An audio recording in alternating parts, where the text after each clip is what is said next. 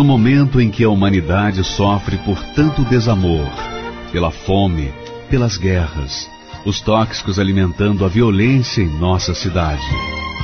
Esta emissora traz até você momentos de amor, paz e alegria, através de um programa feito com carinho para o seu coração.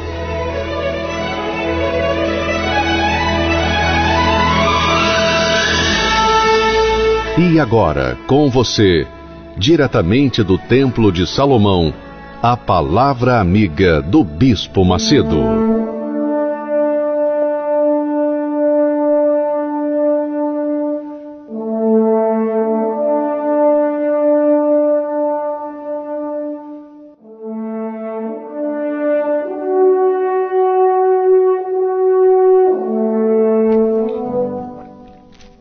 Graças a Deus.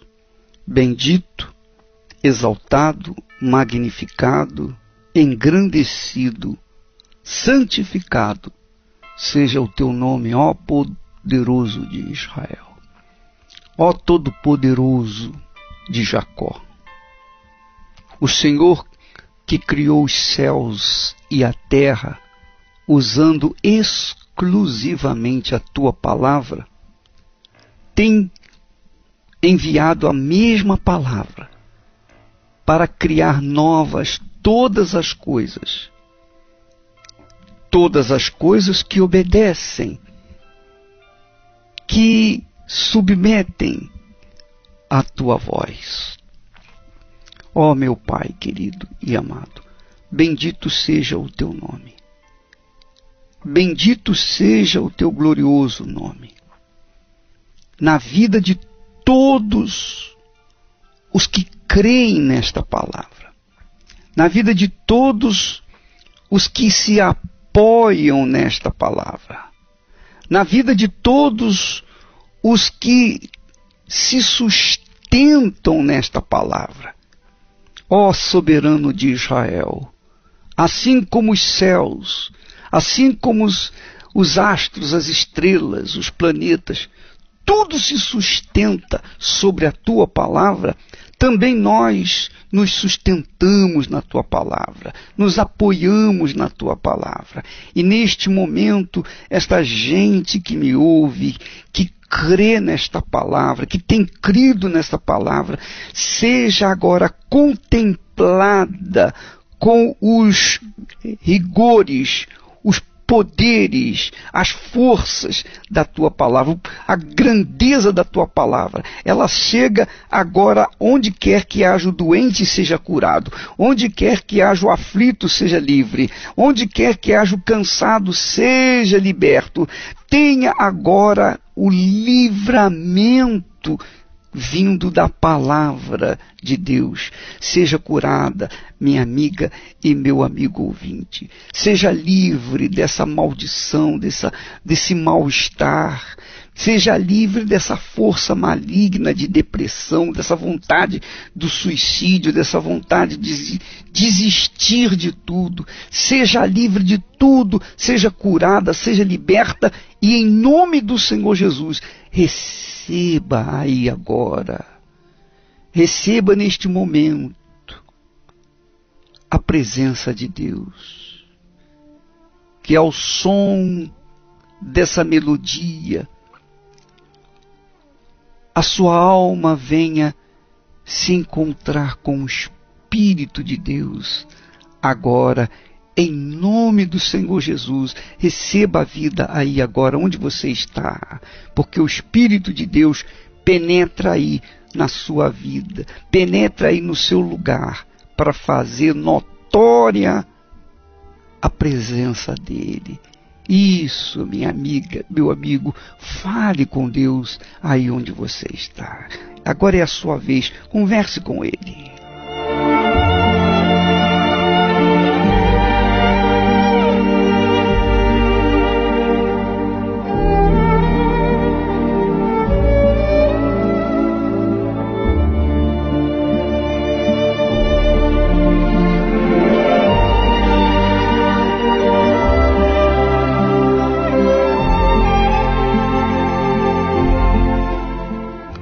Graças a Deus.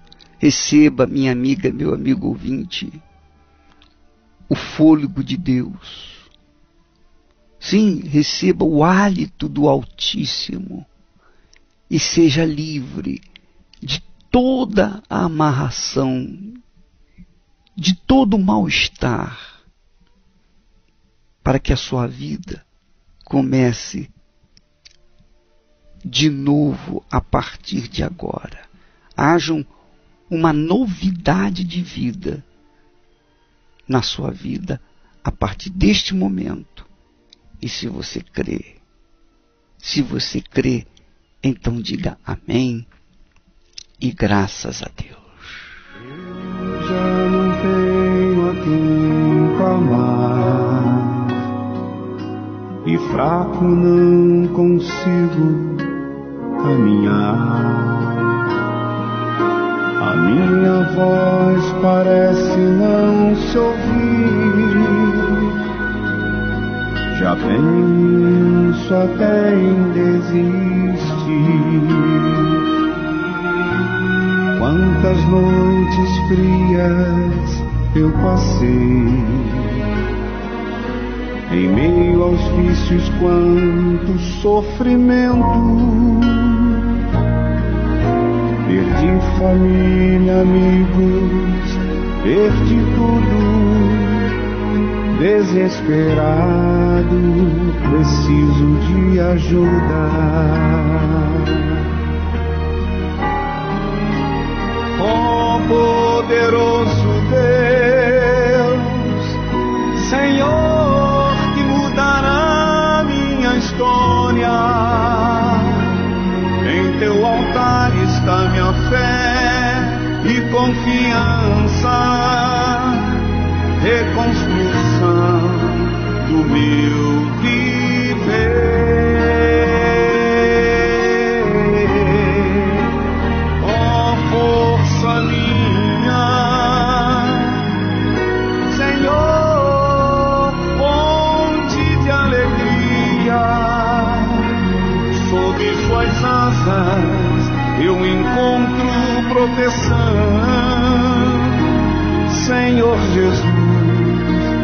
Favor, estenda a mão.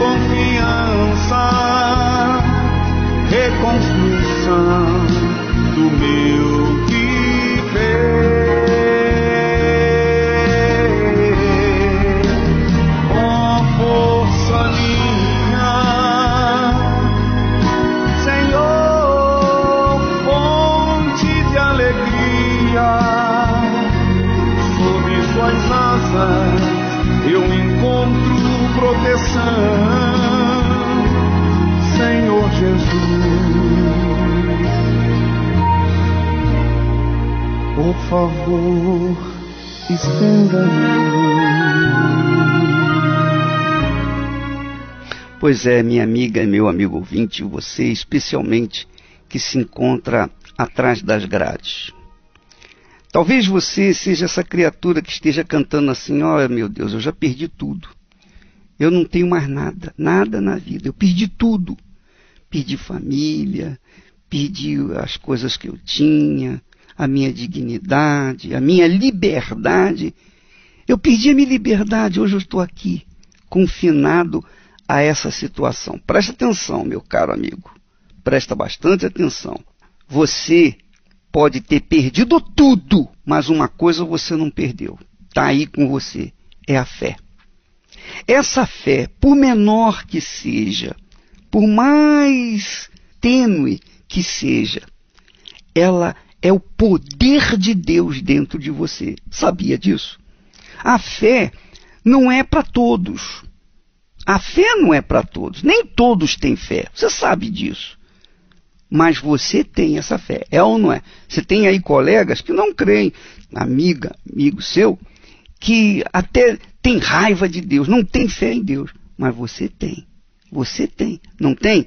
Então, por menor que seja essa fé, essa fé é o canal de ligação entre você e Deus. E com essa fé, por menor que seja, que seja um fiozinho, essa fé vai arrancá-lo daí.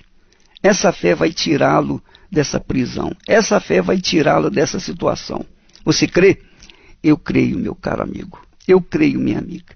Não importa o que você fez de mal, de perverso, de ruim, ainda que você esteja sendo punido, mas quando você coloca, esboça essa fé no Senhor Jesus, então o seu pecado fica apagado. A fé apaga o pecado, sabia? A fé, a fé apaga o pecado. Qualquer que seja o pecado, por menor que seja a fé, essa fé tem o poder de apagar o pecado tem o poder de, de apagar o pecado. Você sabe que está escrito, o próprio Deus falou que a pessoa se, se torna justa perante Ele, justa perante Ele, por causa da fé. A fé justifica a pessoa mais pecadora da face da terra. E tem mais. Jesus prometeu, olha só o que, que ele promete. Ele diz: muitos primeiros serão os últimos. E muitos últimos serão os primeiros, por causa da fé. Você sabia disso? Então você que aparentemente perdeu tudo, mas tem aí a sua fé, tem consciência dessa fé, olha, com essa fé você vai sair do último lugar e vai ser colocado em primeiro. Você vai ver isso. Você crê?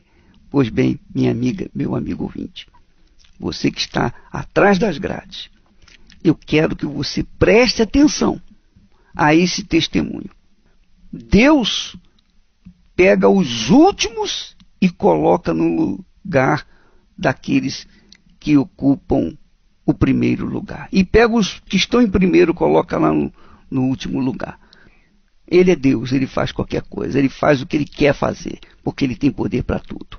Então, você vai ouvir esse testemunho e você vai se encaixar exatamente no caso desse casal. Preste atenção.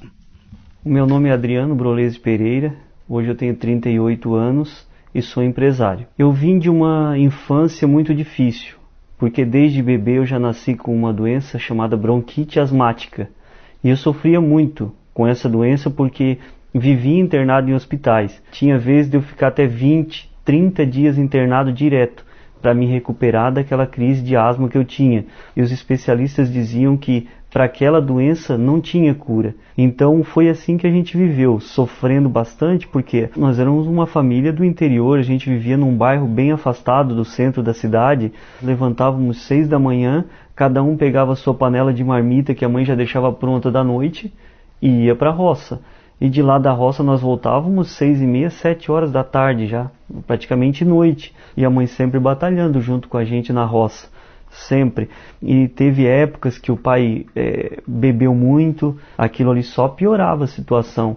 Aquele cara que era aquele cara que basicamente cuidava da família, quando bebia se transformava. Nós olhávamos para as outras famílias e olhávamos as famílias, nós olhávamos de baixo para cima, porque nós éramos o pior Nós éramos os últimos, nós éramos os mais pobres, nós éramos a família daquele lugar que as pessoas olhavam para a gente e tinham pena.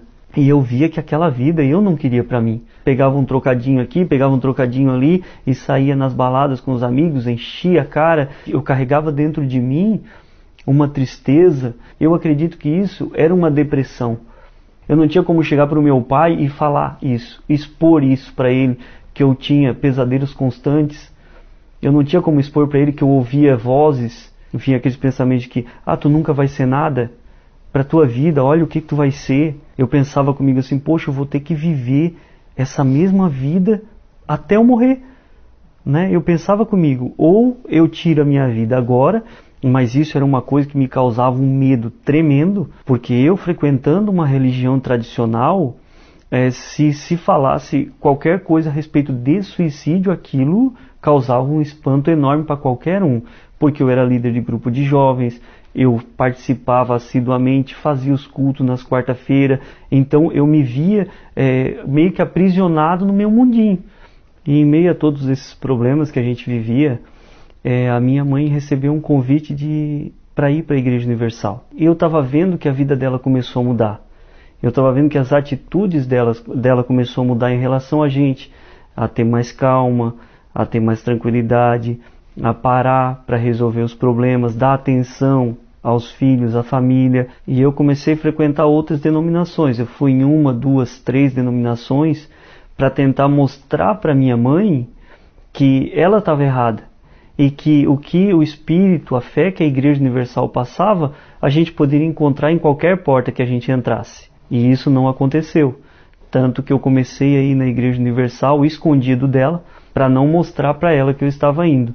E com aquela palavra que eu recebi do altar, me levou a querer fazer uma aliança com Deus, assumir um compromisso real com Ele, porque eu sabia que esse compromisso, essa aliança firmada com Deus ia me trazer os benefícios que eu fui colhendo, fui curado, né? Eu já não sofria mais daquela bronquite asmática, eu comecei a sentir paz, eu comecei a dormir bem porque os pesadelos foram embora. E já nesse momento eu conheci a minha esposa Raquel, nos casamos, Passei a ser feliz sentimentalmente, as coisas começaram a acontecer, até que a Raquel foi procurar a médica dela para um exame de rotina e ela foi diagnosticada com endometriose. Ela não teria condição nenhuma de gerar um filho. E eu me senti muito frustrada, muito triste, decepcionada de uma certa forma. E ele, na hora, se revoltou com aquela palavra.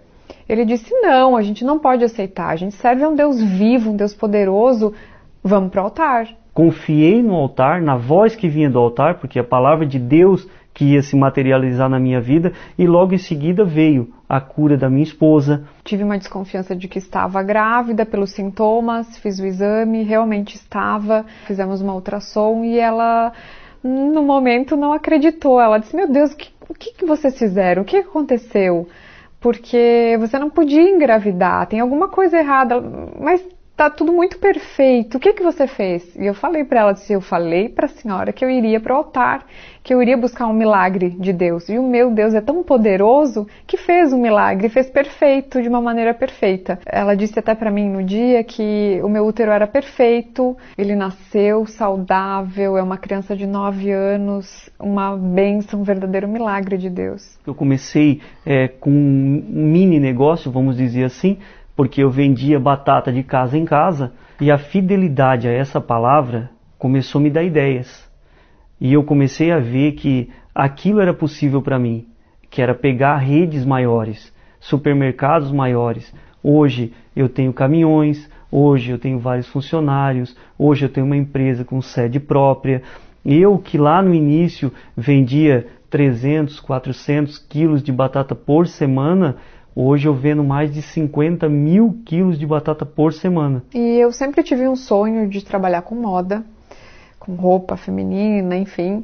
Eh, e comecei um ateliê na minha casa, na garagem de casa.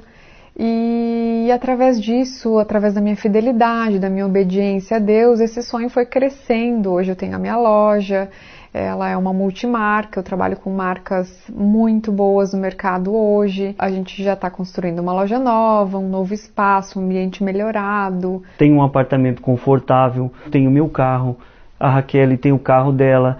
O meu guri estuda num dos melhores colégios da cidade. Eu vou aonde eu quero ir. Não é a minha condição que me limita um lugar que eu posso ir. Tudo que eu coloquei no altar, o altar sempre me devolveu muito mais, porque o altar nunca fica devendo nada para ninguém. Hoje, acima de todos os bens, acima de toda a felicidade, é a presença dele dentro de mim. Eu não sei o que seria da minha vida sem a presença de Deus ou sem viver na presença desse Deus maravilhoso. Nossa comunhão com Deus é a base de tudo, é a chave que nos garante a, a vitória plena mesmo.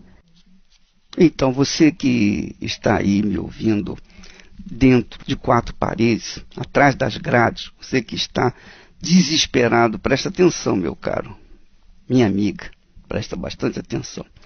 A primeira coisa que você deve fazer é não olhar para trás. Não fique olhando para trás. Porque quando a gente olha para trás, a gente não pode olhar para frente. Ou você olha para trás ou você olha para frente. Se você olha para trás, você não vai conseguir dar um passo adiante, porque você vai cair. Então, você não vai olhar para trás, não vai olhar para os lados, não vai olhar para as suas condições. Ah, eu não tenho isso, eu não tenho aquilo, aí eu não estudei, eu não tive oportunidade, eu não sei o que. Não, não vá dando desculpas para você. Olhe para frente. A fé a fé, a fé inteligente, a fé inteligente. A não é a fé emocional, não é a fé emotiva, não. A fé inteligente olha para frente e crê que vai acontecer aquilo que a pessoa determinar. O que, que você quer na sua vida? O que, que você quer? Qual é o projeto que você tem para a sua vida? Se você tem um projeto pessoal, de crescer, desenvolver, multiplicar, de ser uma pessoa bem-sucedida, sem ficar devendo nada a ninguém, muito menos à justiça. Então, olhe, olhe, agarre-se a essa fé. A fé que Deus lhe deu, porque essa fé é uma dádiva, é um dom de Deus dado a você. Então, use essa fé para sustentar-se aí nesses dias difíceis porque você pode ter certeza, cedo ou tarde você vai sair daí. Mais cedo ou mais tarde. E eu creio que, dependendo da sua confiança em Deus, vai sair mais cedo do que você possa imaginar. Mais cedo do que você possa imaginar. Mesmo que ninguém acredite, não importa. Deus é Deus. Deus pode tocar no coração de um juiz e determinar a sua soltura. Você sabia disso? A sua liberdade. Deus é Deus, meu caro. Deus é Deus, minha amiga. Não há nada impossível para ele. Agora, é preciso que se creia, que se acredite nas suas palavras, nas suas promessas. Ele disse assim: ainda que uma mãe se esqueça do filho que mama, eu não me esquecerei de ti. Essa palavra é para todos quantos creem. Você crê nela? Deus não esqueceu de você. E de repente você está aí nessa situação justamente para que você possa ter um encontro com Deus aí mesmo. Você pode ter um encontro com Ele aí mesmo. Todos os dias nós estamos aqui orando. Nós estamos orando aqui através da rádio e pedindo a Deus por todas as pessoas. Então, Ligue-se diariamente com a gente nessa oração e você vai ver que Deus vai fazer a obra dele. Você faz a sua parte. O que, que você pode fazer? Você só pode apelar para Deus. Você só pode elevar o seu pensamento a Ele. Mais nada, não é? Mas isso é suficiente para que você venha atrair Deus para dentro de você e fazer de você uma nova criatura tá bom? Vamos ouvir mais testemunhos de pessoas, pessoas que também estavam numa situação similar à sua. Vamos ouvir. Meu nome é Karina. Antes de chegar na Igreja Universal, eu tentei várias outras denominações, sempre em busca de uma resposta para minha vida espiritual, para minha vida sentimental, e infelizmente eu não encontrei. Então isso me gerou muitas frustrações, muitas decepções amorosas, muitas decepções, inclusive com a minha autoestima é, interior.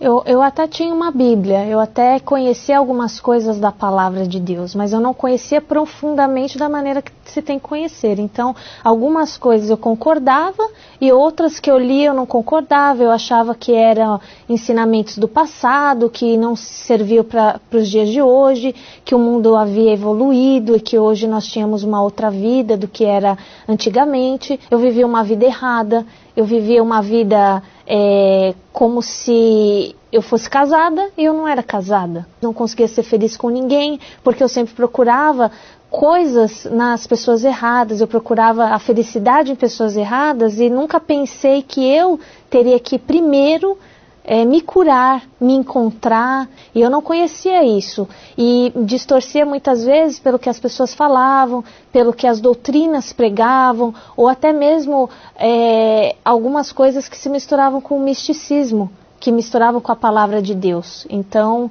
é, eu tinha essa fé enferma, eu tinha uma fé totalmente doente por ser ignorante na fé. Eu cheguei à Igreja Universal através de um convite de uma amiga minha. No começo eu pensei que ia ser mais uma igreja que eu viesse a frequentar, que eu iria, enfim, participar uma vez por semana e fazer uma oração rápida e continuar vivendo a minha vida. Só que quando eu cheguei até a igreja, eu me deparei com um ensinamento prático, uma fé viva. Então eu pude ver Deus agindo na minha vida como nunca tinha havido antes. Então eu sempre procurei, eu sempre busquei a Deus da maneira errada, da minha maneira, da maneira que as pessoas falavam. E quando eu cheguei à igreja, eu vi totalmente uma outra proposta, uma proposta de uma vida nova, uma vida transformada, uma vida é, realmente pautada na palavra de Deus, uma vida é, com abundância, que é isso que a igreja prega muito, que a gente tem que ter abundância na nossa vida sentimental, financeira. Eu, não, eu fui para resolver um problema sentimental e eu acabei resolvendo tantos outros problemas principalmente da minha vida espiritual. Então, depois que eu encontrei esse caminho, que eu resolvi realmente o meu interior, a partir daí todas as outras coisas vieram a ser acrescentadas. Eu fui cada vez mais me meditando na palavra, aperfeiçoando esse ensinamento, e lá na palavra de Deus eu constatei sobre a devolução do dízimo. Então eu me tornei uma dizimista desde quando eu entrei na igreja. Sempre fui muito fiel a Deus. Então as portas se abriram. Eu que não era feliz na minha vida é, profissional também. Eu comecei a ver resultados. Então eu, eu tive esse temor. Eu coloquei essa palavra dentro de mim e que foi o próprio Deus que colocou por meio da sua palavra, por meio da Bíblia. Então eu comecei a devolver as minhas primícias e sou fiel a Deus até hoje nos meus dízimos e tenho visto cada vez mais os resultados. Eu também pude é, ter oportunidade de colher outros frutos daquilo que eu havia plantado, que foi a minha vida sentimental. Eu era muito infeliz na minha vida sentimental, eu achava que eu não ia dar certo com ninguém, eu achava que eu tinha falta de sorte como o mundo diz por aí. As pessoas me falavam: não, é, hoje em dia casar é muito difícil, hoje em dia as pessoas não querem compromisso, mas eu tinha uma fé dentro de mim e eu acreditei. Eu falei: não, se eu estou aqui, se Deus abriu a porta para mim aqui, eu tenho que arrumar uma pessoa de Deus aqui na igreja. Então eu fui fiel, perseverei e encontrei uma pessoa muito especial, um homem de Deus, Hoje eu sou casada, nós somos casados há dois anos, muito felizes. É, hoje eu consigo observar e olhar para trás e ver que tudo valeu a pena. Então, a obediência a Deus, essa meditação na palavra, de buscar sempre é, a opinião que Deus quer para nós é muito importante. Eu só tenho sido bem sucedida, porque não é uma religião, mais uma denominação. Então, assim, a minha vida foi realmente transformada na Igreja Universal. Todo dia fico ouvindo, de domingo a domingo, aquele programa que passa na rádio e deixam as mães mandarem recados. Eu distraído outro dia, quando alguém disse alô, é a Dona Maria. Daí você falou meu nome. Eu não acreditei e pulei de alegria. Mãe, eu tenho tantas novidades pra gente. Sabe, eu ganhei uma Bíblia de presente de um pastor que veio aqui nos ensinar que Jesus Cristo é o caminho. Mãe, não se esqueça de orar pela gente. Deus está te ouvindo, eu tô tão diferente, nem pareço aquele filho que tanto te fez chorar. Me espera, mãe, que em breve eu vou voltar. De uma cela, mãe, te escrevo essa carta. Minha saudade é grande, mas em breve ela passa. Me lembro com carinho do almoço de domingo. Meus pais se alegrando com seus filhos reunidos. Os erros da minha vida me trouxeram até aqui. Mas isso não será motivo para eu desistir. Pois conheci um Deus que tudo pode transformar. Em breve eu tô voltando, mãe, pronto pra recomeçar. De dentro de uma cela, mãe, te escrevo essa carta. Minha saudade é grande, mas em breve ela passa. Me lembro com carinho do almoço de domingo. Meus pais se alegrando com seus filhos reunidos. Os erros da minha vida me trouxeram até aqui. Mas isso não será motivo para eu desistir. Pois conheci um Deus que tudo pode transformar. Em breve eu tô voltando, mãe, pronto pra recomeçar.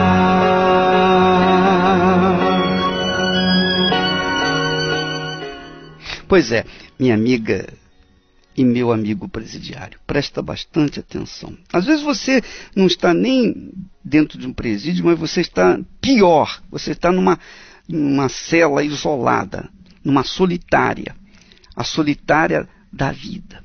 Você está em meio à multidão mas você é um rosto, mais um rosto na multidão e ninguém repara você e você sabe que é um desprezado nesse mundo. Mas preste atenção, seja você presidiário ou não, uma coisa é certa. Primeiro, eu falei que quando você tem a fé, você pode ter perdido tudo, mas não perdeu a fé. Então a fé está aí dentro de você. A fé, a fé tem os seus segredos e mistérios mas são preciosos. Olha só, quando a pessoa tem a fé que Deus lhe dá, ela acredita em Deus sobre todas as coisas. Ela acredita que as coisas vão mudar. Ela crê que as coisas vão mudar. A primeira coisa. Segundo, ela crê em si própria. Ela crê em si própria. Quando ela crê em Deus e crê em si própria, ela depende de Deus e depende de si mesma. Ela não depende dos outros, nem de favores de ninguém. Ela passa a depender só de si mesma. Então, ela, com a força, com a energia, com o poder de Deus dentro de si, consegue sobreviver esses momentos difíceis, essas tempestades, essas situações, essas circunstâncias. Ela consegue se manter ali porque ela é forte. Ela crê que vai sair. Ela crê que vai que tudo vai mudar.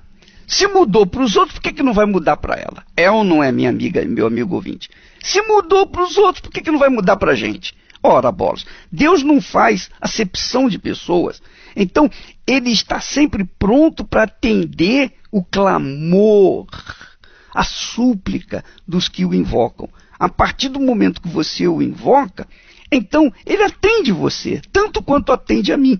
Ora, minha amiga e meu amigo, esse é o segredo da fé. Primeiro, você olha para frente. Segundo, você crê em si próprio. Porque quando você olha para frente, você crê em Deus, você então é forte. Quando você crê em si mesmo, você é novamente mais forte.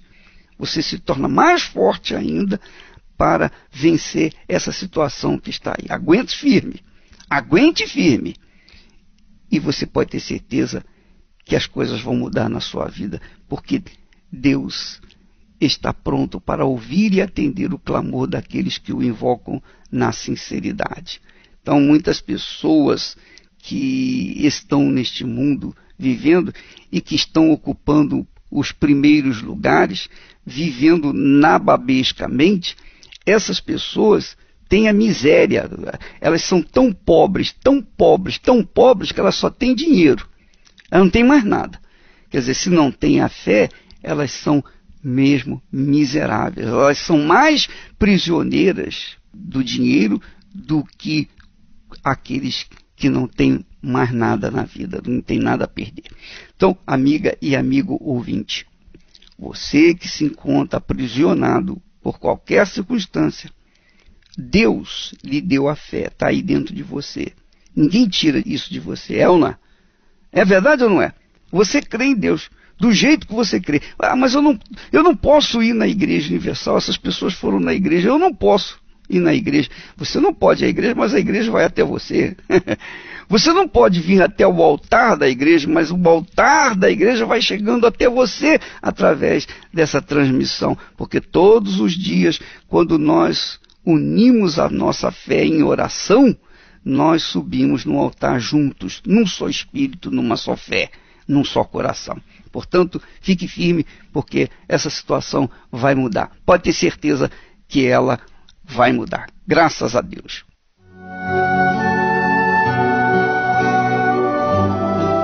A fé e a inteligência trabalham juntas. Embora a fé seja encarada como loucura para esse mundo, ela é inteligente porque nos faz saber que temos direito à felicidade. A fé faz com que recusemos uma vida de derrotas e conquistemos uma vida de vitórias. Se tudo não está de acordo com os seus ideais, está na hora de você refletir com a sua inteligência e usar a sua fé para trazer à existência os desejos de seu coração. Igreja Universal do Reino de Deus um lugar de fé para a sua vida. Meu nome é Carolina e eu fui enferma na fé. Antes de eu chegar na Igreja Universal, eu tive vários relacionamentos frustrados, tive problema, um abuso, entre outros problemas financeiros, doenças, sofri bastante. E através de um convite da minha mãe, eu conheci a fé, comecei a ir às reuniões e me envolver com a palavra de Deus, com as coisas de Deus. Foi daí que começou o meu processo de libertação. Logo me batizei nas águas, então eu orava de madrugada, eu me envolvia com as coisas de Deus, aprendi a ser dizimista, ofertante, os princípios da fé. Né? O meu prazer era ali, o tempo todo aos pés do Senhor Jesus. E eu comecei a ver resultados dessa fé em prática na minha vida. Então eu vi mudanças no meu interior, aquela pessoa frustrada, decepcionada, né, por conta das situações que eu passei no mundo, ela já não, não existia mais. Eu já tinha paz, tinha alegria e eu consegui um trabalho, um emprego muito bom, né? Eu, eu me sobressaía e fui desenvolvendo. Eu cresci muito rápido. Em dois meses eu fui promovida duas vezes dentro desse lugar. Porém, esse emprego começou a me consumir. Então, consumia o meu tempo, meu tempo de estar na igreja, o meu tempo de ir às reuniões, o meu tempo de orar, de jejuar, porque eu fazia hora extra, eu entrava mais cedo. E automaticamente, quando você não se envolve com Deus, você vai se envolvendo com as coisas do mundo. Então, aquelas pessoas, aquele ambiente me envolveu. Tomou meu tempo, tomou os meus pensamentos, eu já não achava tão importante, já não priorizava tanto as coisas de Deus como antes comecei a deixar de frequentar reuniões de quarta-feira, que antes eram muito importantes para mim, já não, não tinham mais essa importância. Então eu ia uma semana, já não ia. O domingo eu ia por, por obrigação, mas logo na sequência da reunião eu já tinha que ir para o trabalho. Então tudo era o trabalho, o trabalho, o trabalho. Eu dava o meu tudo para o trabalho, mas para Deus já não era a mesma coisa. Mas o pior foi quando eu toquei no dízimo. E é algo que você não percebe no início, porque eu já tinha perdido o temor, perdi a visão espiritual, perdi a santidade do que era ser dizimista e com uma fé enferma eu comecei a ver as consequências da desobediência. Então eu fiquei quase um ano desempregada e sem saber para onde ir. Isso refletiu na minha família, porque dentro da minha casa eu passei por muitos problemas financeiros, além das percas financeiras que são pequenas diante da minha distância de Deus naquele momento. Porque você ora Parece que a sua oração bate no teto e volta. Você não tem prazer de ler a Bíblia, não tem prazer de jejuar, não tem prazer de fazer a vontade de Deus, porque você está vivendo na desobediência. E um dia, desorientada, completamente sem direção, eu peguei um livro do Príncipe Macedo, comecei a ler e algo ali me chamou a atenção. Algo ali me tocou quando ele fala justamente do temor em ser dizimista, do temor na fidelidade com Deus. Porque se eu não sou fiel a Deus, eu não ia nem saber ser fiel às pessoas. E ali, naquele momento, eu fiz um voto com Deus de, de ser fiel, fosse no, seja no pouco ou no muito. E que eu ia reerguer a minha vida espiritual a partir daquele momento, a partir daquele dia, custasse o que custar. E eu comecei a tratar da minha fé. Então, o primeiro passo foi voltar a ser fiel nos meus dízimos, nos meus votos, nas minhas ofertas. E automaticamente aquilo foi me reaproximando de Deus. Então eu voltei a ter prazer nas orações, nos jejuns, na leitura da palavra. Tudo começou a fazer sentido novamente para mim. Então eu voltei a praticar o princípio do temor, da reverência, da vida com Deus. Em três semanas é, eu arrumei não só um trabalho, mas é um ótimo trabalho. Eu trabalho, eu tenho grandes oportunidades de crescer.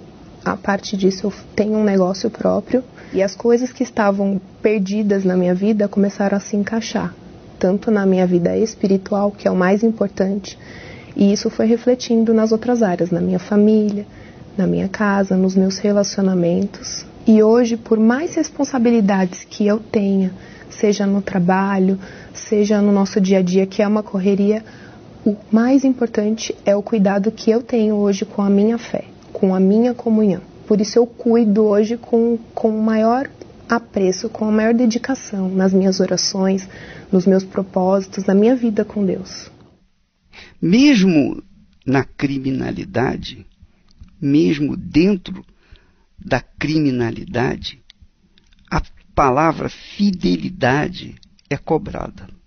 Você que viveu no crime ou que vive no crime sabe disso. Porque o companheiro seu que se torna infiel a você, então normalmente ele paga com a vida. É ou não é? Você sabe disso, meu caro amigo, minha amiga.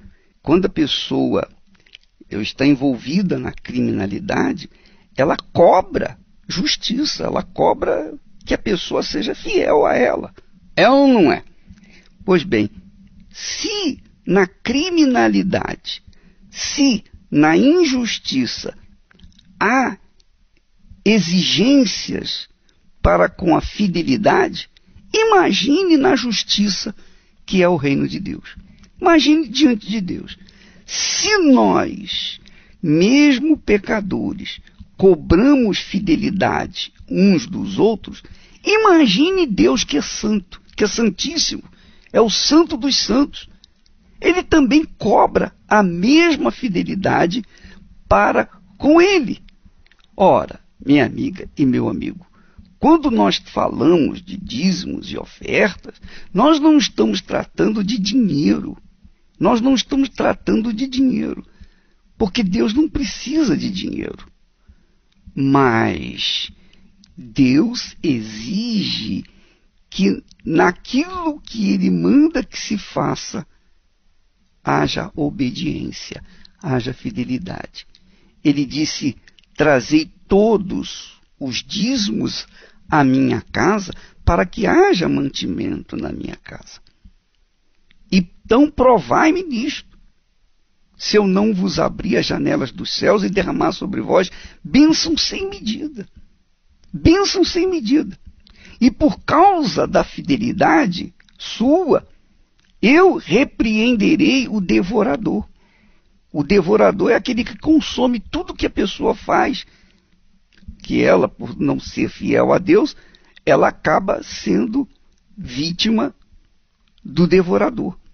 O devorador passa a ter o direito sobre a vida dela, passa a ser o senhor da vida dela. Então tudo que ela produz é destruído, é dissolvido, vira pó. Por quê? Porque o devorador se acha com o direito à vida dela, porque ela não é fiel a Deus. E se ela não é fiel a Deus, é fiel ao diabo.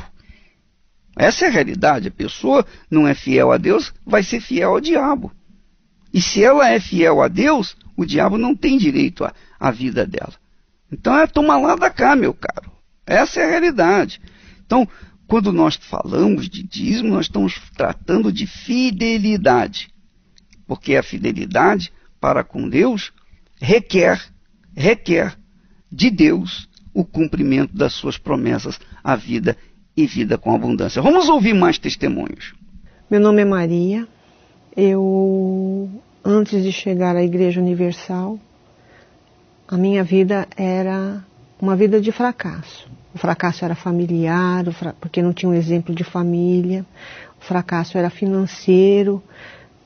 Tinha problemas espirituais, porque a minha forma de lidar com as situações que eu via na minha casa me traziam muita tristeza. Eu era uma pessoa angustiada, emotiva ao extremo, não conseguia lidar com situações, numa situação de conflito eu me fechava e chorava, chorava, chorava. Quando eu cheguei à Igreja Universal, é, na década de 1980, mais precisamente em 1983, eu vinha em busca de algo que preenchesse aquele vazio, o vazio que eu havia buscado em outras religiões. Então, naquele momento foi a saída que eu vi, porque era o último lugar que eu poderia ter procurado. É, eu aprendi que eu poderia lutar para eu vencer todas as dificuldades da minha vida. Que eu frequentei a primeira reunião, foi ministrada pelo Bispo Macedo naquela ocasião. Despertou dentro de mim a fé, a fé que eu nem conhecia. Na verdade, eu nem sabia que eu possuía aquele poder dentro de mim, porque os problemas todos sufocavam a fé que eu tinha.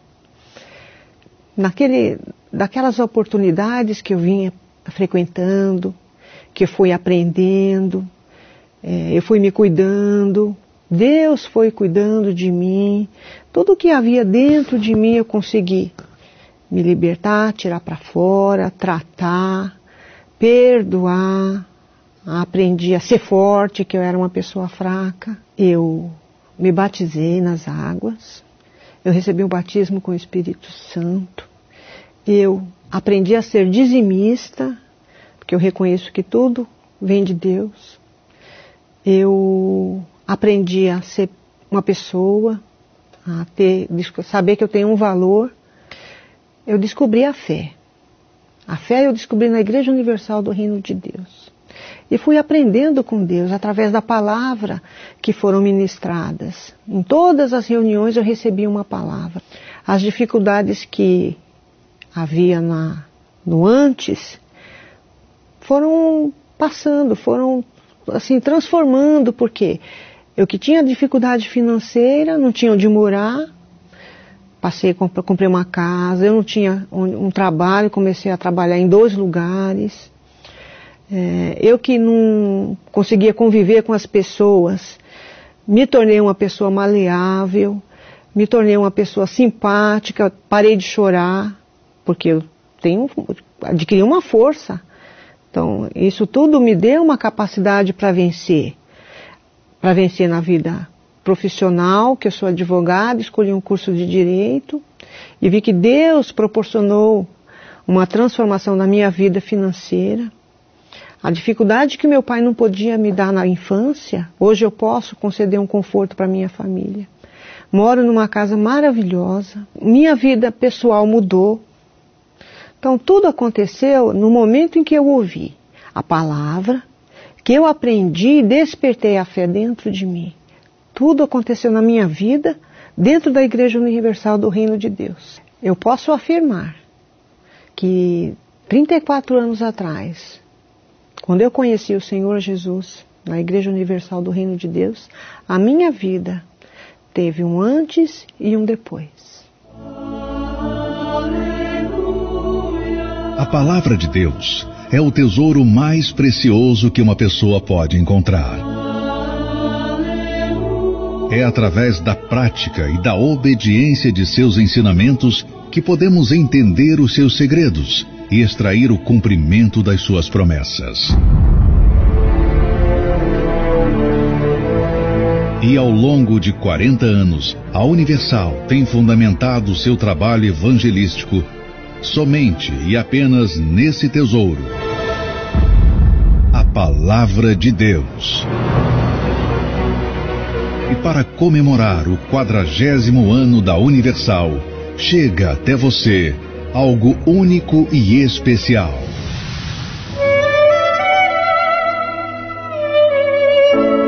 A Bíblia comemorativa dos 40 anos da Universal.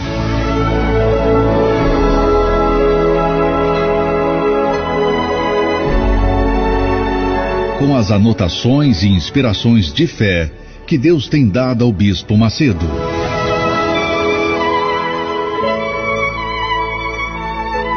Mensagens marcantes que ajudaram o Bispo Macedo e o desenvolvimento do trabalho da Universal. Adquira sua pelo arcacenter.com.br ou no Templo de Salomão. Graças a Deus. Minha amiga e meu amigo ouvinte, eu queria fazer uma, um convite especial para as pessoas que estão vivenciando problemas matrimoniais ou pessoas que estão vivenciando problemas de relacionamentos, relacionamentos. Você não consegue lidar com o problema entre você e o seu marido, sua mulher, ou o seu companheiro, companheira, enfim. Você está com problema sentimental. Problema sentimental é um problema grave, gravíssimo. Não é difícil de se resolver, mas tem que se trabalhar. Você tem que investir. Você não pode querer resolver o problema sentimental de forma física.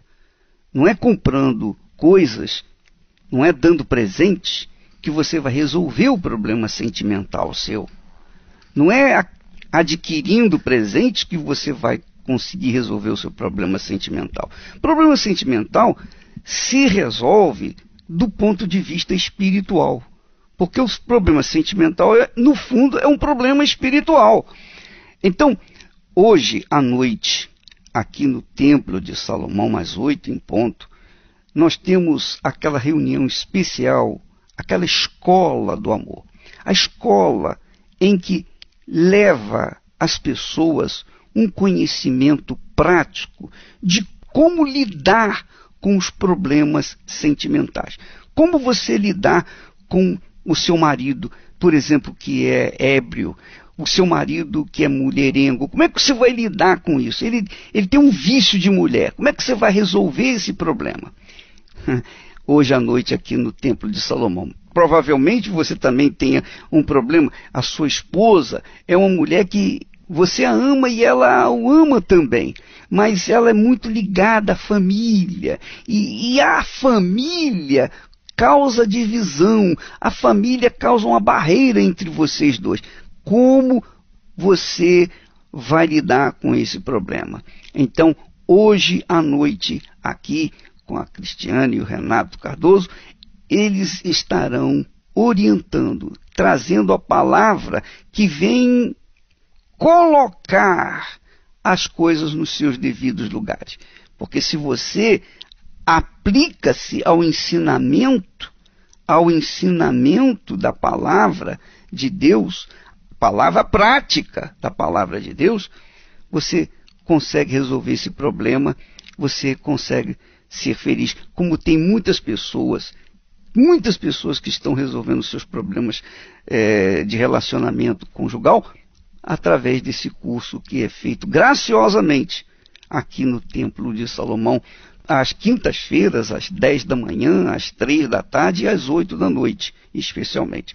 E você é o nosso convidado.